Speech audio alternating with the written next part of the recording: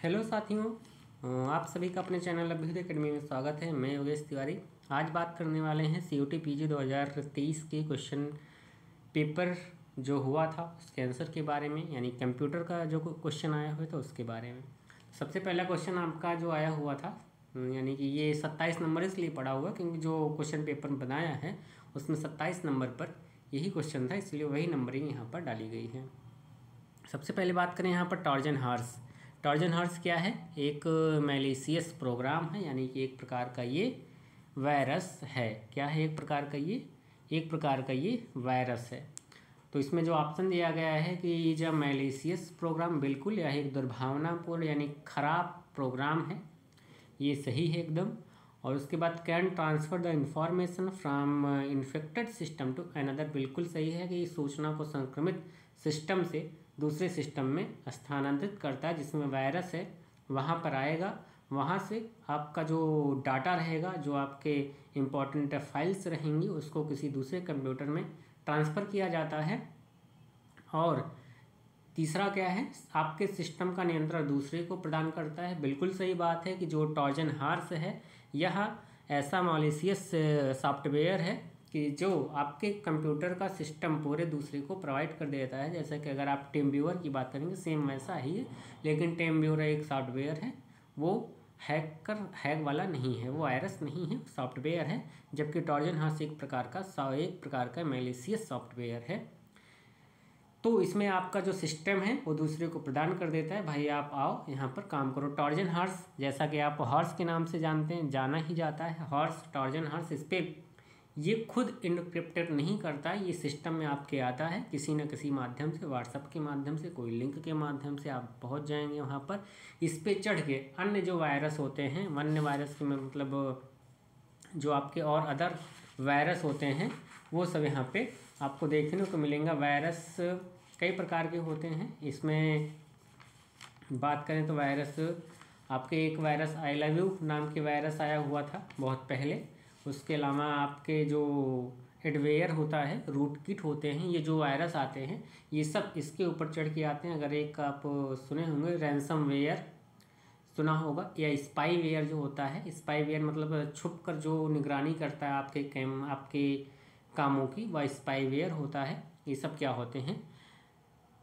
Virus होते हैं। अगर नोट करना चाहते हो तो नोट कर सकते हो। वायरस है, यानी कि मालवेयर क्या होते हैं? मालवेयर के टाइप क्या हैं? एक वायरस है एडवेयर है रूट किट है स्पाईवेयर है रैंसमवेयर है टॉर्जन हार्स है रिमोट एक्सेस है, उसके बाद वार्म है, की लॉगर है? इतने जो है मेन आपके वायरस या वायरस नहीं कर सकते। इनको आप मेलेसियस सॉफ्टवेयर बोल सकते हैं मालवेयर बोल सकते हैं। वायरस नहीं वायरस खुद एक प्रकार का अलग से सॉफ्टवेयर है, अलग प्रकार का एक मालवेयर है। तो टाइप ऑफ़ मालवेयर हैं ये, चार दस दस उस टाइप हैं जो होंगे, वो आपके इम्पोर्टेंट है, आप इसको लिख सकते हैं। यानी कि इसमें जो तीनों सही होंगे ऑप्शन नंबर इसमें जो हो जाएगा ए बी सी डी उसके बाद अगला क्वेश्चन है कंप्यूटर हम सामान्यतः दैनिंद, दैनंदिनी जीवन में निजी कार्यों के लिए प्रयोग करते हैं। Computer be generally use in daily life for personal work is known as option number इसमें जो है वो माइक्रो हो जाएगा। तो आगे चलते हैं अगला क्वेश्चन में। Number question number fifty four इसमें अगर आपने पढ़ा है तो अच्छी बात है, नहीं पढ़ा है तो मान के चलिए आ जाएगा तो अच्छी बात है, नहीं आएगा तो आप उसको छोड़ सकते हो। कंप्यूटर में अगर पाँच क्वेश्चन आता है तो पाँच में अगर दो, तीन क्वेश्चन कर ले जाते हो तो बहुत अच्छी बात है। और हंड्रेड परसेंट है, आप दो, एक, दो क्वेश्चन दो क्वेश्चन तो कर ही ले जाओगे पाँच में से। जो मैंने टॉपिक बताया है अगर उसको आपने कंप्लीट किया होगा। जिस व्यक्ति को अपराधिकृत पहुँच टॉपिक कहाँ बताए हैं? जो टेलीग्राम चैनल चलता है, वहाँ पे बताए हैं। ज्वाइन कर सकते हो टेलीग्राम चैनल पे डेली क्विज होती है वहाँ पे। जिस व्यक्ति को अपराधिकृत पहुँच प्राप्त होती है, वह महत्वपूर्ण आंकड़ों को नष्ट कर देता है। बिल्कुल सही बात है। अगर आपके अंदर कोई आ गया, उससे संबंधित कोई आपके आपके पास कोई डाटा है तो उसको डिस्ट्रॉय करेगा ही। वैध प्रयोगता की सेवाएँ इनकार करता है। आप कुछ दे रहे हो, उसको मतलब कोई कमांड दे रहे हो अपने कंप्यूटर को ले ले ही नहीं रहा है, इनकार कर दे रहा है एक्सेस ही नहीं हो पा रहा है, अथवा उनके लक्ष्य के प्रति समस्याएँ उत्पन्न कर देता है, उसे जाना जाता है। क्रैकर उसको क्या कहा जाता है? क्रैकर ना क्रैकर ऐसा है, आपके कंप्यूटर में आएगा, जो वहाँ पर आपके सिस्टम होगा, उसको क्रैक कर देगा, जो आपकी फाइलें होंगी, उसको तोड़ देगा क्रैक कर देगा। उसमें जो आपके इंपॉर्टेंट डाटा होगा, उसको डिलीट कर देगा, उसको या तो अपने पास ले लेगा, यानी कि अपने खुद ले लेगा या तो डिस्ट्रॉय कर देगा। ये क्रैकर का काम है। क्रैकर भी एक प्रकार का क्या है? हैकर्स है। ना हैक ही जो किया जाता है, वही क्रैकर है। क्रैकर एक बुरे टर्म में यूज़ किया जाता है, ख़राब टर्म में यूज़ किया जाता है मालवेयर के टर्म में यूज़ किया जाता है, जबकि जो हैकर्स है, ये अच्छे हैकर्स भी होते हैं और ख़राब भी हैकर हैकर यानी कि एक गुड एथिकल हैकिंग के बारे एथिकल की चीज़ एथिकल की बात की जाती है हैकिंग में और अनएथिकल जो होता है क्रैकर होता है। और यहाँ पर जो पहला ऑप्शन वाइट हैट हैकर जो होता है, ये एथिकल हैकिंग होती है, जो हमारे सिस्टम में रहते हैं हैकर्स उनकी, उन, वो जो हैक करते हैं सिस्टम को, वो white hacker white hat hacker कहलाते हैं। आगे चलते हैं, अगला क्वेश्चन डेस्कटॉप पर तुरंत लौटने के लिए शॉर्टकट की का उपयोग जो करते हैं विंडोज़ प्लस डी यूज़ करते हैं. क्वेश्चन नंबर सिक्सटी नाइन है.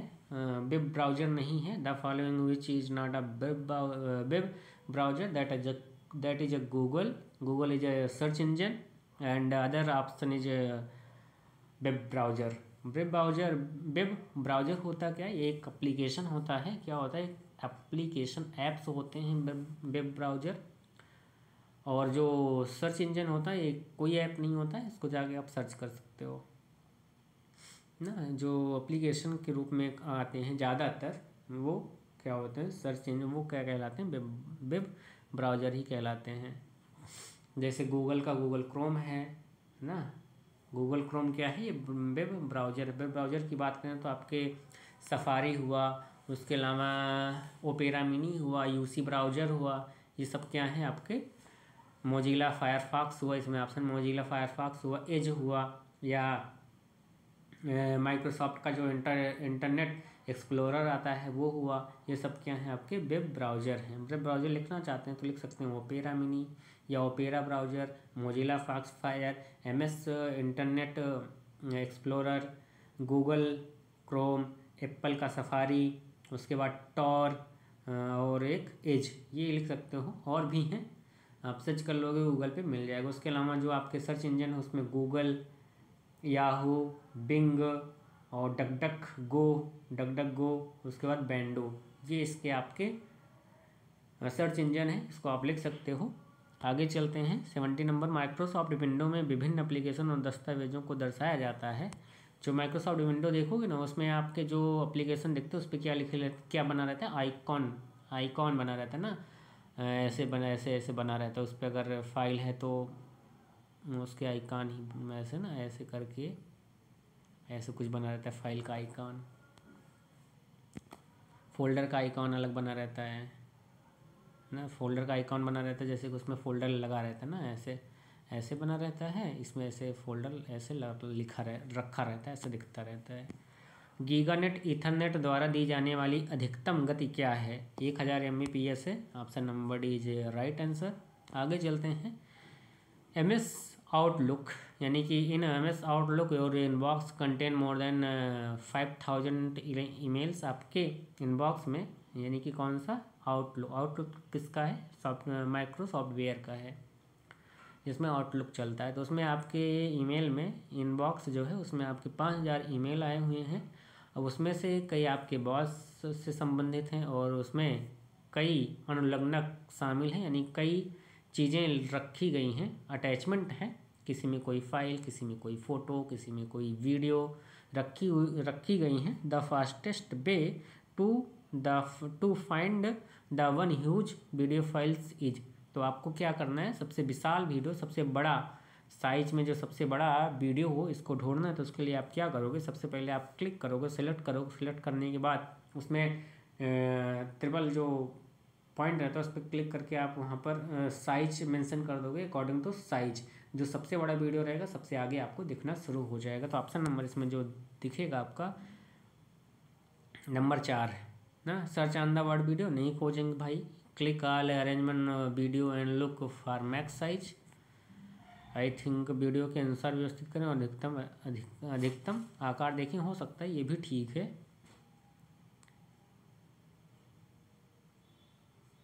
नहीं, ये ईमेल की बात नहीं कर रहे हैं ना, और वीडियो की बात कर रहे हैं।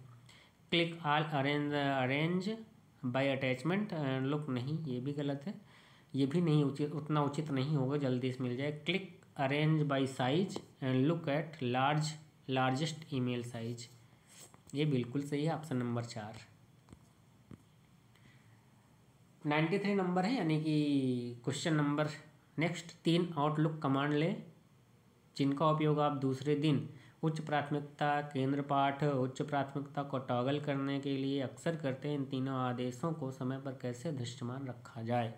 ऐसा करते हैं। इसमें क्विक एक्सेस बार होता है। वहाँ पर आप इसको ऐड कर लो। आप जब चाहो, जल्द से जल्द इसका उपयोग कर सकते हो। Add three command to the quick access tool bar